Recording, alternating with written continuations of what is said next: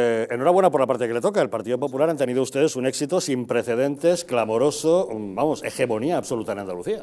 Sí, la verdad es que sí. Yo quisiera empezar lo primero felicitando en este caso a, la presidenta Juanma Moreno por el resultado, también a todos los simpatizantes afiliados del Partido Popular y por extensión, lógicamente, a todos los andaluces. ¿no? Creo que han elegido al mejor, al mejor presidente posible de, de todas las opciones que tenían.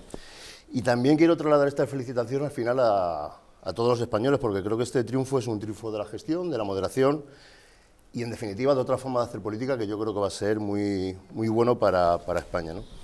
Y más allá de, análisis que se puedan hacer más pormenorizados, yo creo que la pregunta fundamental es por qué se, se ha producido este resultado. ¿no? Y bajo mi punto de vista, uno, uno de los factores claves ha sido que el Partido Popular yo creo que ha sido de verdad el único partido que ha salido de verdad a ganar las elecciones.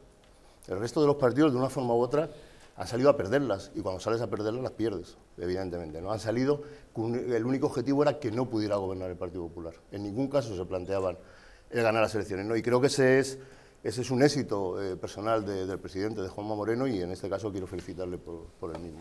Don Fernando.